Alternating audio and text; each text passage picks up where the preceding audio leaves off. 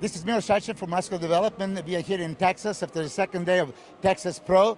And I'm here with my protege, my client, my, my very good friend, uh, uh, Logan Franklin, who played second yesterday. We're going to talk about uh, your classic physique, appearance, and everything. But let's touch uh, the, the subject of open division. We just uh, witnessed it. You know, so uh, watching the, the prejudging right now, how did you see open division?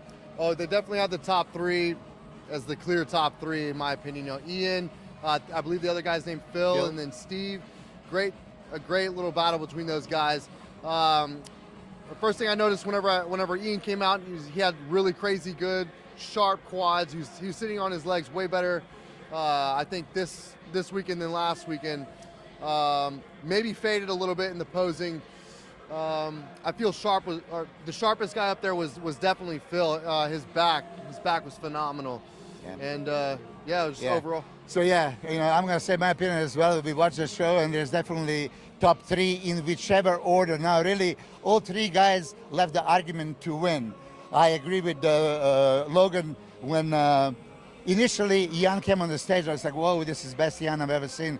Full, hard, dry, legs super separated, and he kept it. uh, You know, to be fair, he kept it throughout the prejudging, but he was fading and sometimes relaxing his quads. Now, on the merits of size and fullness, how can you go against uh, Steve? Steve Kuclo is just a monster. He's between 280 and 290 pounds. Everything is there, super full, wide, thick, hard, and conditioned. Not really dry, so you know this is where he can possibly lose. But uh, no weaknesses. Every uh, body part is there. Every pose is dramatic. Now, Phil uh, Clahar again brought it. Not just that he brought it. Uh, I think he even improved. You didn't see him in uh, uh, Tampa last week. He came even sharper, which is you know hard to uh, believe.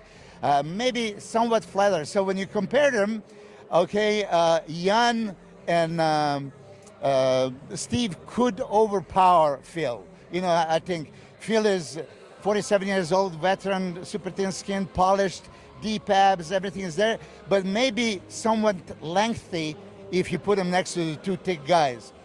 Uh, so from a thickness uh, standpoint, I, I see uh, Steve uh, being a fuller and thicker and just as wide as Jan. Jan has a, a more pronounced V-taper. Yeah. So he has that little bit uh, more aesthetic Yeah, I was beauty gonna say, him. Ian has the uh, the way I see it. Steve has got the mass, uh, a little bit less condition, dryness. Uh, he could have definitely been more of that. Uh, Ian definitely brought the aesthetics out of the three. You know, like you said, he was very sharp. Like I, I said as well, very sharp when he when he came out. Started fading in the posing a little bit, and then uh, Phil, he just he was the sharpest of them all. I, I feel. Yeah. Uh, best back up there, but a little small, I think, in the legs. Yeah. I, I think the legs would. Uh, Uh, it's actually the shape of his legs. He has that sweeping ties, but then goes into the very small joint of a, of a knee, so he doesn't have that really thickness in the lower quads. And then calves, obviously in calves department, Steve, you know, it was phenomenon. Uh, and uh, those are maybe weaknesses of uh, Ian and Phil. Now let's talk about the fourth place, fifth and sixth. You know, so uh, Martin Fitzwater, you know, came out of nowhere. He is, uh, you know, training partner of, of um. Uh, yeah, Brett Wilkins. Oh, sorry, Brett. my, my brain stopped for a second. Yeah, and uh, uh, Martin and Brett look so much alike. Now, Brett brought the crazy conditioning, and if Martin brought the same conditioning, you know, th- th- this would be something that he would uh, definitely be on the fourth place, straight, straight uh, across the board. But I think he wasn't as uh, conditioned, as dry. It was apparent in his legs. You know, so if he's going to take a fourth place, uh, I'm not sure. I think that uh, uh, Hassan, Mostafa, and uh, uh, Muhammad El, El Imam, you know, should be there ahead of him. Yeah. You know, so th- this is the way I see the prejudging going. But uh, finals, a completely new show, and it can go either way. Uh, my money right now is uh, possibly Ian is ahead of Steve, you know, on the, that dryness and conditioning. Uh, so uh, if Steve uh, tighten up a little bit for, for finals, I, I really think that uh, Steve went for that crazy fullness to overpower Ian. And I think maybe he's even holding a little bit too much glycogen. Yeah. So this posing hopefully drain him out a little bit, and uh, he might be. Uh, my mother is calling. All right. So uh, th- this is uh, about uh, um open division. About 212, I would say that uh, uh, Austin Carr came way improved. I mean, he really spilled over. He was not contender in Chicago. Uh, yeah, he was in Chicago. He was uh, he was uh, uh, not contender, so he was played, placed out of top ten. This time, you know, he came very conditioned, uh, legs out of this world. He was still not as dry and maybe as lean as he should be uh, to win the contest and to be at Olympia conditioning, but it was good enough because also the guy that I see winning after prejudging, Ahmad Al Sadani. That's what it was. Yeah, That's- I yes. love his shape. I love uh, everything about Ahmed. It's very aesthetic, complete. Yes. Uh, you know, I also saw him as the clear winner when he when he first came out um, in the in the groups. My eyes instantly went to him, and I, I remembered him through all the comparisons. And then obviously the first call out came, and he he looked like he dominated up there. Great abs, great shape for 212. Uh, I mentioned to you during the call out. Yes, Um, it's just it's, it's an exciting show, so stay Uh, tuned for tonight. I'm sure that you appreciate this kind of aesthetics and, Yes. and the shape. And uh, I think that in this department, really, Ahmed Al Sudani has probably one of the best shapings uh, in 212 division. Anyway, he was still a little bit off and still a little bit watery. So conditioning is still not solved for him, but it's good enough to win this contest. Now, uh, you mentioned also, you notice you don't know the name, but uh, Martin uh, Gomez, The baby blue trucks, The baby blue trunks, uh, you know, Yes. was the best conditioned guy on the stage. crazy peel. Yeah, crazy peel. From and the uh, rear, especially, I, I liked all of his rear shots. You could see all the detail on his lats, his traps, glutes extremely dry, Yeah. everything. He, he nailed his conditioning. He nailed his peak, I think. So Yeah, yeah. Uh, I, I think I see him third, even though by the, by the positioning on the stage, maybe uh, Jason Herbert is uh, taking his uh, place for a third. But we, we're going to see uh, definitely Guy Guy Cisternino uh, was uh, top five. Uh, veteran, came in shape, came conditioned, and uh, making a top five in a show like this is, is a great success. Huge.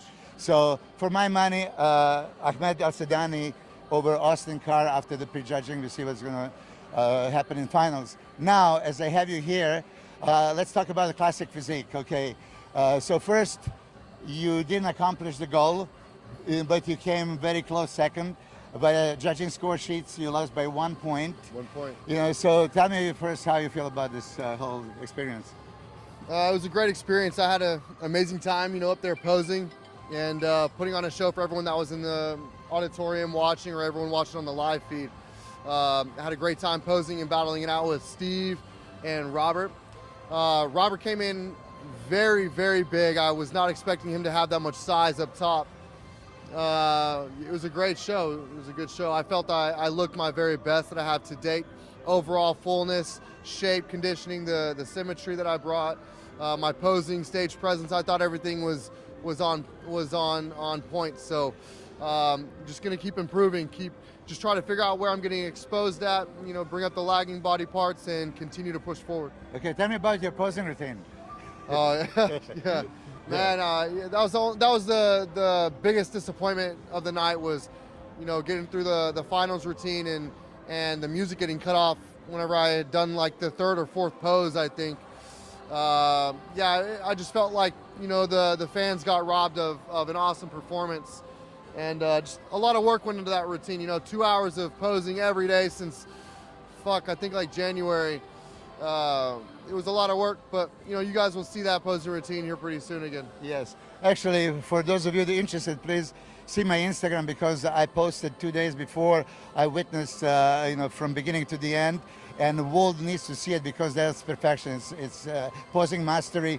Uh, I followed the, the sport since, uh, of course, 70s. I've seen uh, Mohammed Makkawy, Ed uh, Corney, uh, Lee Labrada, Shawn Ray, all the great posers. And uh, after seeing that routine, I'm bold to say this is the best choreographed routine I've ever seen because there was combination about 30 something poses from uh, up, uh, bottom, side to front. Transitions were dramatic. And uh, okay, you brought that classic. I, I think that classic, no, classic physique is brought to to bring the beauty of uh, bodybuilders, of a shape, of aesthetics. You know, the the human body, uh, a manly body that would be so pleasing. And uh, presentation of that body should be allowed. So the, the posing routines, especially for classic, should be allowed a little bit longer. I understand there was a two-minute limit. Uh, Uh, and 90, they said 90 seconds. 90 seconds, Yeah, okay, they- they which is 90. e- even less because, uh, okay, if you come to the uh, show and you do the choreographed routine like you, it's going to bring the audience, you know. So uh, I'm uh, also disappointed about that. But uh, being a, Logan's coach, you know, again they're going to say I'm biased, so I'm not going to talk about the placings. You know, because uh, I respect. Uh, I mean, oh my God, Robert Timms eats phenomenon. And now, for you guys, okay, that uh, would not believe, Dennis James, his first coach, told me, Milos, I would put $50,000 bet that Tim is going to pass any drug test. He is drug free for life. Of course, for even people like Logan and, uh, and me myself, it's like, how would that be possible? But would I put the $50,000? No, I wouldn't, right? So just imagine if uh, Tim really accomplished this, uh, you know, naturally, this is, is phenomenal. But I would say this, he was upper body of the open bodybuilding uh, top six uh, competitors. Upper body, so much fullness, so much width, so much roundness, so much muscle, right? And yeah, and legs, even though he brought it up, you know, still was not balanced, you know, to, to be really, uh, you know, that uh, aesthetic balance, you know. So on that note, you know, uh, you know, Robert, you're going to the Olympia. You said you're going to bring something, you know, more. I would just uh, tell you, focus on legs, bring the legs up. But uh, on uh, on uh, standpoint from um, my aspect, classic physique is about uh, classic beauty and classic lines. First year when I watched in 2019, uh, Chris Bumstead beat uh, uh, uh, Breon and uh, Peterson, and you know I, I said like, well, they had more muscle, they had you know more condition, and you know maybe they should place ahead of Chris. But I said this is uh, classic physique rules. And then I learned what is about classic physique. So you look for the structure, you look for the shape, and that's a primary thing.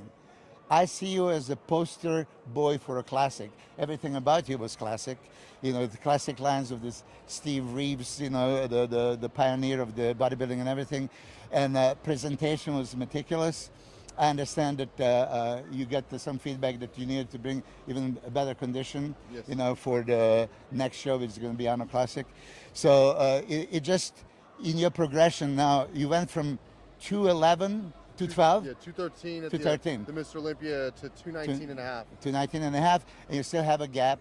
Yes. Uh, you're six foot tall. 11 so- more pounds, yeah. yeah, so so uh, you know I can only imagine what we're going to present within a year from now. Yes, I'm excited to keep getting back to work and uh, getting ready for the next performance for you guys. So stay tuned. We're coming for you. Yeah. All right. For muscular development from Texas uh, Pro, this is Milos Sarcev.